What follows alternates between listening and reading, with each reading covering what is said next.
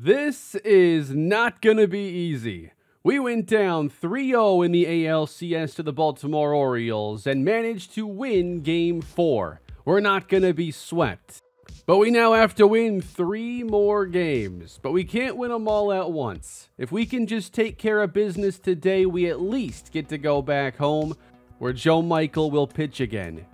And we're going with a completely different lineup today with Zach Gelof, Miguel Vargas, and Yusniel Cruz as our top three hitters. I enjoy a good challenge. We sure have one here. Down 3 0 in the ALCS. I'm not going to tell you that I think that we're for sure going to go and win this series, but I do enjoy trying to put together a comeback. And one thing I cannot get out of my head. What if the offense turns around to play the way they're capable of? It's been a disappointing series, but maybe that could change. Maybe our pitching falls apart and we lose a game 9 to 8. I can accept that. But I really want to see our offense have at least one game where they resemble who they can be when they're actually decent. So is DL Hall the pitcher we can finally right the ship against. He has a 1.7 whip, a 5.8 ERA this season. He's 4 in 16. So why not here in game 5 everybody? Welcome in. If we fail this, we're going to be on to the off season and getting ready for year 7.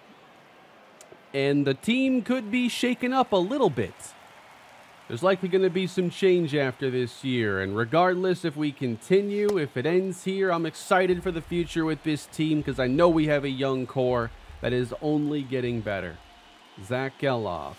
Hit by DL Hall on the 0-2 slider.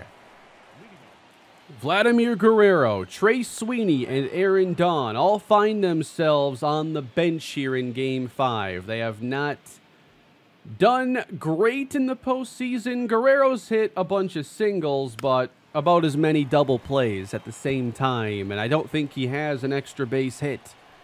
So I don't want him killing any more rallies for us. Two and two. In there. Strike three. He gets Vargas. Strikeouts haven't been the biggest problem for us in this series. And one guy who is certainly due for a big hit is Yusniel Cruz. He's not had a great ALCS. Couple strikes in here from DL Hall on the outer corner. Don't want to mess with those. But now one and two. A drive to left center field. A rocket that finds the gap. And Gelof will be waved home and he will score. 1 0 Oakland here in the first. Right down the middle, good swing there for Cruz. And now Franmil Reyes, who's also been pretty ice cold here in the ALCS. Still have him in the cleanup role because I don't know who else to put here against the lefty. Well, I suppose there is one guy, Dylan Carlson, who is set to hit after him. One and one. That's off the plate. So now, in four of the five games, we've managed to score first. Can we add on a bit more in this one? Three and one to Franmil Reyes. That one is in on the outside corner. We'll let that go. Got him with a fastball just off the corner. Two strikeouts for DL Hall as he hopes to strand Cruz at second. But here is perhaps our best playoff performer from the two years we've made it Dylan Carlson. Three homers this year, 278. Lot of extra base hits. A chance with two gone. Ground ball to third base. And Carlson is retired, but we do strike early. And we'll see if we can get the start we're hoping for out of Logan Gilbert. Last time we saw him, he went six shutout innings, and the first pitch upon taking him out was a home run that tied the game. So hopefully he can pitch the way he did in his previous start and give us a trip back home. Jordan Westburg hits a ground ball. It's Royce Lewis unable to make the play at short. And Westburg is aboard. Getting an extra righty in the lineup means that Lewis plays over Sweeney. And Sweeney is a really good defender. So Tyler O'Neill next. For Gilbert, a lot of times it's escaping those early innings without damage. There's a slider for strike two. Good splitter, strike three on O'Neill. That's a pitch we definitely want to get going early on. Jackson Holliday is next. Line drive, and Gelof spears it for the out. And Jake Fraley's had a couple big homers in this series already. Two outs and a curveball low. If we can get out of the first cleanly, I like the chances of Gilbert settling in. Oh, he hung the splitter that time, and it's thankfully foul. The one two. Got him fishing outside. Good start. I don't know what it is exactly, but if I'm playing Madden and I'm down a couple scores in the second half, or if I'm playing baseball and I've got to get a few runs late in the game, like I really enjoy trying to make a comeback happen. Going down 3 0 here in a series is definitely a new challenge. Luis Arraez is playing because he's just too good to keep out of the lineup, but he is down on a couple pitches. Strike in here at 98, and the count is even. Wanted to get Cabrera out here again over Dunn. And he lines this one right at second.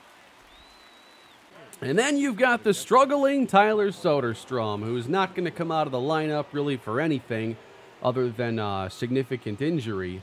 But now I have him batting eighth. One of only two lefties we have in our starting lineup today.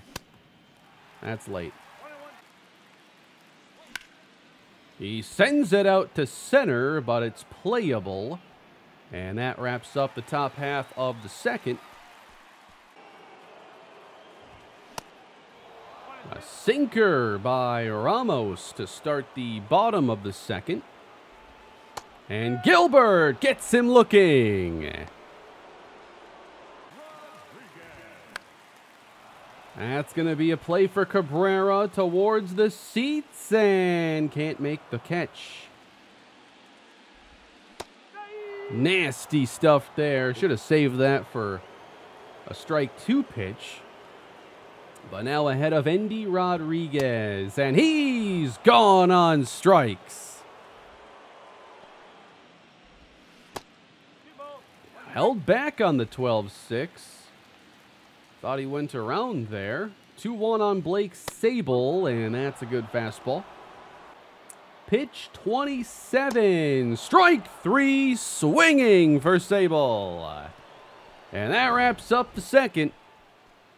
You know, you'd feel like there can only be so many pitchers duels here in the postseason. Eventually, one of these games would uh, shoot out a little bit, but so far, looking like more of the same. Royce Lewis leads off the third against DL Hall. What a disappointing season he's had, but that could change. He's in with a single. He is a stolen base threat. Not going yet. And now it's going to be a ground ball double play.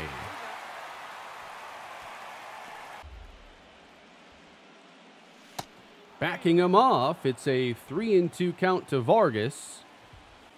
Battling with two down. And he lifts this one deep and foul. And that is a cold ball four. Strike zone's been iffy throughout the series. So we got a second base runner in the inning.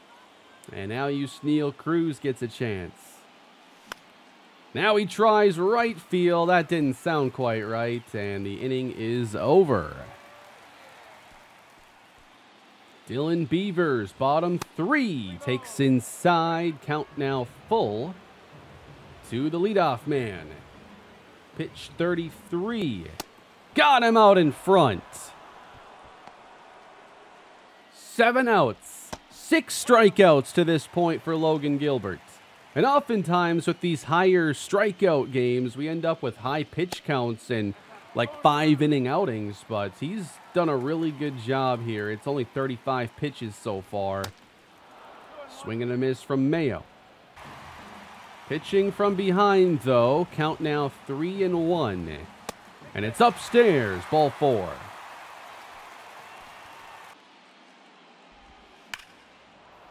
Hammered foul. Jordan Westburg now behind one and two. Going low. Held back. Takes the curve and another 3 2 count. O'Neill on deck.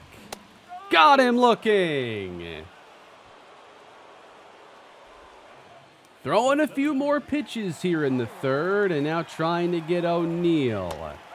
There's a first pitch strike. Two and two on O'Neill. And he lifts this one for Cruz in center. Playable. And we're through three. Just trying to earn that trip back home to get Joe Michael one more postseason start. I'd feel better if we could break through this one or two run deal we've had lately, and Reyes is aboard with a base hit. Carlson grounds it to third, and it's thrown away. Reyes to third. He's in safely. And an error creates a threat for Oakland. Could have been two outs instead, two on. Luis Arraez. Big at bat here for DL Hall. Being lefty lefty, I want to try being a bit more selective. Got away with a bad first pitch swing last at bat. See, that's the one to, to go after, clearly. Grounder and foul up the first base line. Two and two. On the ground, backhand. Wow, Reyes stayed put. We get nothing, and it's a double play. A double play that should have happened in the previous at-bat. Yeah, if we go home there, they're definitely going to nail him at the plate. Another threat possibly wasted. Inside, it's two and one. Count goes even. Lifted deep and foul. We've had a couple down that left field line. And it clips the outside edge. Not a good sequence there. We got to make him pay for an error. You can't let him get away with leadoff walks, errors. Those are the things you got to take advantage of. It's still just one to nothing Oakland. Not seeing anything different really in this game. Two and two to Jackson Holliday, and he takes low. Count now full. Strikeouts not coming quite as easily for Logan. The 3 2 is in there, and he waves at it, strike three. Eight Ks for Logan Gilbert. Fraley falling behind, one and two. Been liking his slider today, even against lefties. Did he go? He does! Strikeout number nine. And Cruz should be able to get to this one. Four incredible innings for Logan Gilbert. Another one deep to center from Soderstrom. And run down, out number one. Working a 3-1 count here with Royce Lewis. And it's ball four. Gelof, two for three in that last game. Did a good job giving the offense a spark. Gets the slider and sends it to right, but that's what we've been doing on a lot of these elevated pitches, just getting way too far underneath them. They're really paying a lot of attention to Royce Lewis. We've seen a pickoff, a pitch out, and two slide step deliveries that were just basically pitch outs. So 2 0 on Vargas. He sends this to left center. And Lewis will sprint on to third and hold up there. First and third again for Oakland. Well, we got Yusniel Cruz another chance. He's driven in our only run of the day. Tries to do it again, but wide of third. Inside from Hall. Gotta think this is probably his last inning. And it's three and one. Reyes on deck. Hall looking for a strike. Or a pickoff to get him out of the inning. Not planning on giving that to him. Why would I steal here with Vargas? Three and one. In the air, right field. Just missed it again. Hitting too many to right with Cruz. When we pull the ball with him, we're so much better. 64 pitches for Gilbert as he gets two strikes on Endy Rodriguez. Pitching at a really good pace, but I don't often go to the high pitch counts with him. And here in a 1 0 game, I might be hesitant again. I remember pulling him in the last start because it was such a slim lead. I didn't want him pitching, you know, too deep. Once we get to 70, 80 pitches, that's what I'm looking for. The at bats have been getting tougher. Gilbert can't stop it, and it finds its way through. Leadoff man on for Baltimore, their second hit. Bottom of the order trying to get him on the board. Ground ball, Lewis to second. Double play. Huge double play for Gilbert. Now Beavers lines one to left field. And he wants second, Cabrera. Maybe in a couple years. That's how big the double play was. Now Coby Mayo. Gilbert has not gotten ahead of batters as easily as he did the first couple innings. Fastball ends up over the middle for strike two. Two and two. Low, and it's full. Here we go. Outside, ball four. I think it's time for a visit. Does he have one more in him? Fastball hasn't gotten the job done lately. Two on, two outs. Ball one. And not even close. Ground ball, base hit center field. And the Orioles tie the game at one. Breaking through in the fifth inning. And now two on for O'Neill. We do our second mound visit. That means we've got to replace him.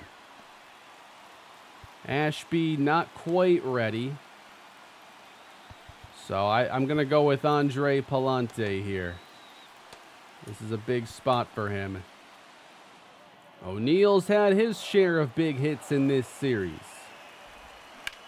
And it's on the ground. A lucky break. It ends the inning. That was not a good pitch. And the game is tied as we head into the sixth. That one run has not been enough in any of these games. Jordan Yamamoto comes out for the O's. Feels like if we don't get a home run, it's really hard for us to score runs. And that is drilled to left field. Reyes back. It is caught. Is that the fence they push back here in this stadium? Unbelievable. Carlson right center field. Not going to get out, but it will be extra bases. And he's going to three. Carlson! No! The perfect relay for Baltimore.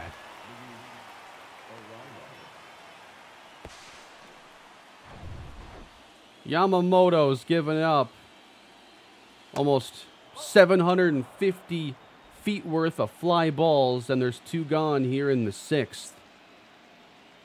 Maybe more. Like 800 feet for two outs. I really thought he was going to get there, though. I thought that was a decent attempt. Of course, two throws that were both perfect.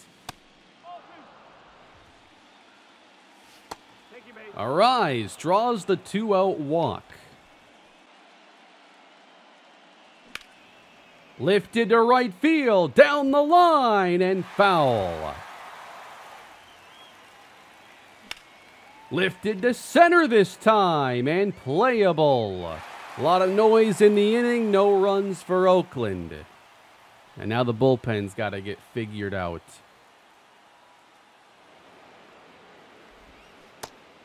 Big 12-6 from Pallante. That's what he's all about. Two strikes on Holliday, and it bounces into the chest protector. Full count now. Holliday leading off the sixth. And pops up. Royce Lewis is there for the catch. By him at 96, and Pallante needs one more strike. Two and two. Ramos on the ground. Not a clean play, but recovering in time is Arraez. On to the seventh we go. Soderstrom and then probably pinch hit. I've waited this long because I wasn't sure if they'd bring in a lefty. So now, if Yamamoto stays in, we'll make sure it's Soderstrom and Sweeney. On the ground and through. Base hit Soderstrom. And it's been a quiet postseason for this guy, Trey Sweeney. 107 with a 310 OPS. That's just not normal for him. Coming off the bench in a tie ball game. Good slider in for strike two from Yamamoto. And it's up the middle, right at the shortstop. And that's a double play. Excellent two-strike curveball there, and that takes care of Soderstrom's single. How many double plays have we hit into in this postseason? It's getting ridiculous. Wow, missed that one.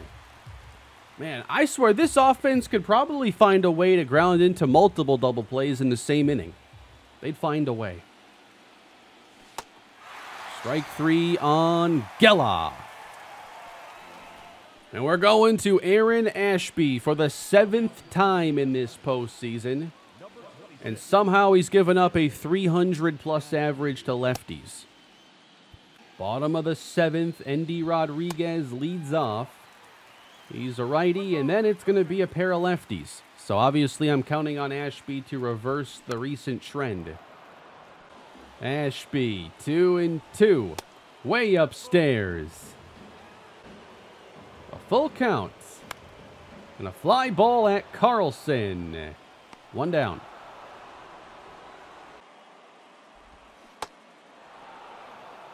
Got to reverse this trend now against the lefty bats. Why have they done so well against him? Ground ball at Sweeney. Gathers and fires on to first, not in time. Yeah, I, I forgot challenges were even in this game. A couple of years ago when they introduced them, there'd be like a play to challenge all the time. Now, that might be the first or second time I've even been prompted. Yeah, he's out. So two gone for Aaron Ashby. Looking for a one, two, three inning. Don't have everybody available, though. I don't think I can pitch Morgan in this game at half energy. I got a couple guys who haven't pitched much here in the postseason that might have to finish this game. Strike three!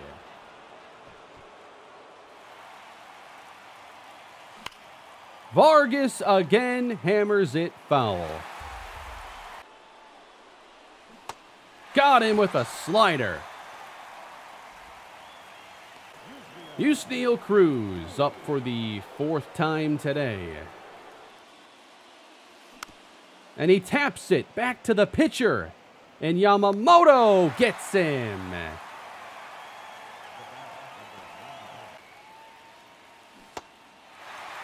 Ahead of that one, it looks like. Really trying to do something with this slider, and we can't. Two down for Reyes. He'll try center field, but is under it.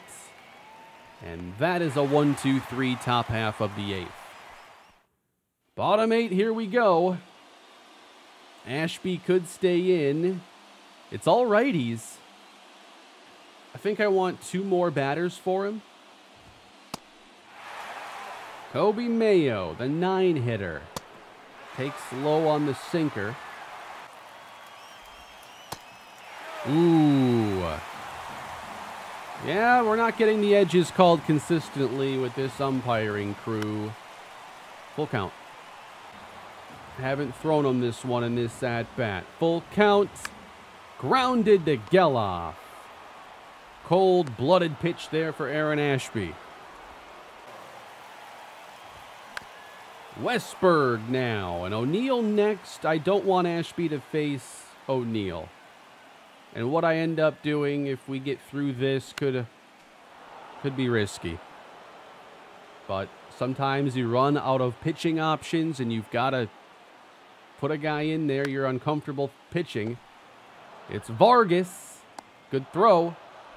Ashby does his job and we're looking for Kendrick Haynes to get the last out. I don't know if he'll pitch more than one batter. He's had one inning. It didn't go well.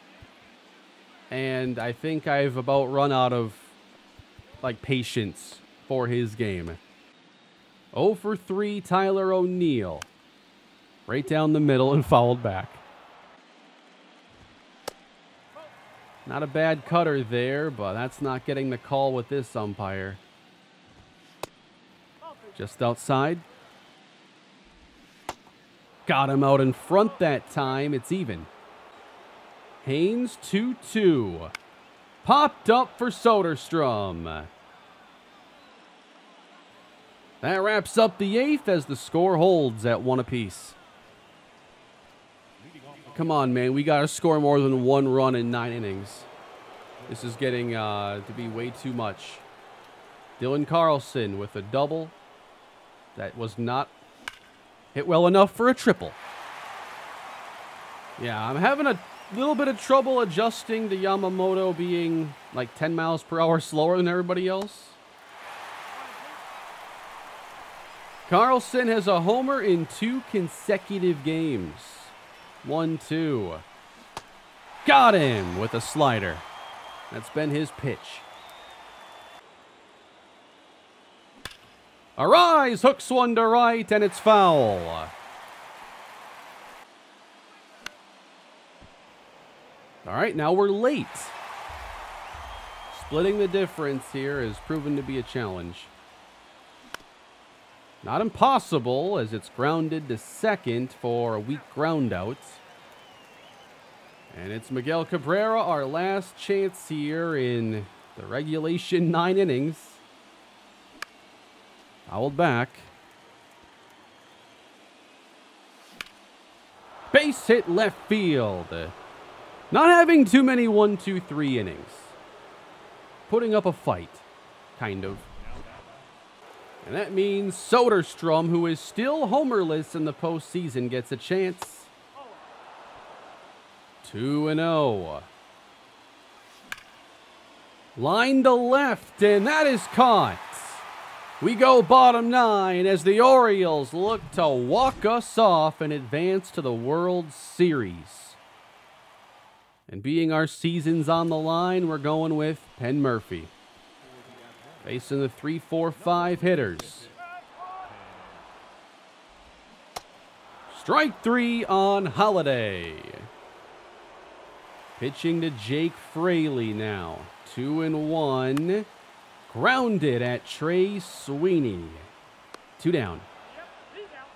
And Heliot Ramos. Lifted for Cruz. And I'm not saying we deserve it, but we do have a chance to hit for a 10th inning tonight. Now, there is no extra inning runner in postseason extra innings. We've still got to earn the run the old fashioned way. Jordan Yamamoto continues on. Great outing for him. Inside, Yamamoto still has some energy left. Falling behind the leadoff man. And it's jammed to short. Got him by a step. Got a 3 1 count here with Zach Gelof. Slide to center. Just a tick late. Popped up. I've been trying to adjust to his stuff, and I went from like everything early to everything late. Like 90 is sometimes the toughest velocity for me to find a way to hit. Especially on a guy that throws so much off speed. Henry Vasquez is coming in to save the season, everybody. He's had one outing and it didn't go well whatsoever, but I want a righty in, and he's the only righty we really have now. Murphy got us through the ninth. He wasn't fresh. Vasquez is very fresh. Sweeney gonna be tough. He fires over the head of Arraez. Backed up by Soderstrom, it's a hit. Could they look to sacrifice bunt?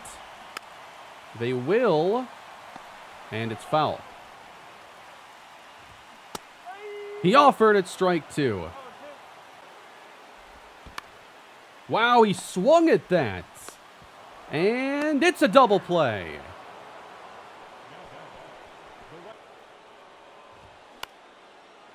Cruz has to race in and puts away the last out of the 10th.